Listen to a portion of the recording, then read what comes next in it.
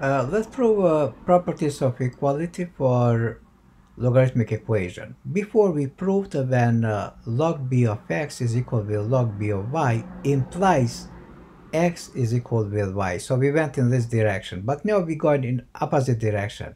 When we going when x is equal with y implies a log base b of x is equal with a log base b of y.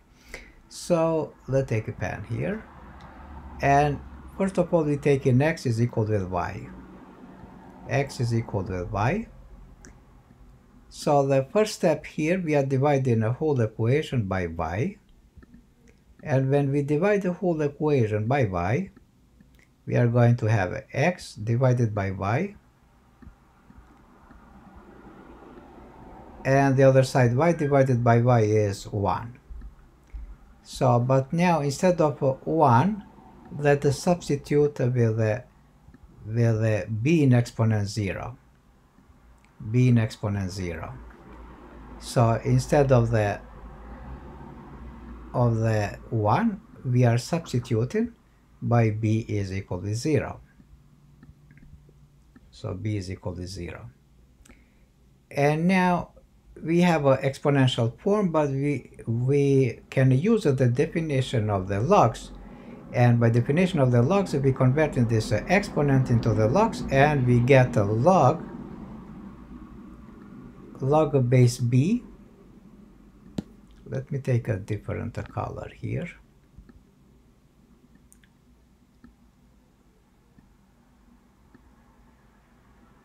Log of base b of uh, x divided by y is equal with uh, 0 according to definition of the logs.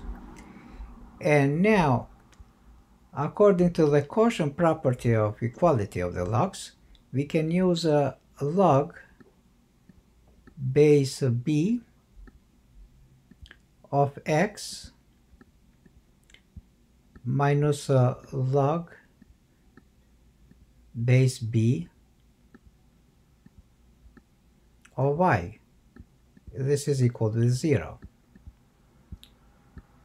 And both sides we are going to add plus a log base b of y. So both sides of the equation we add by log base b of y.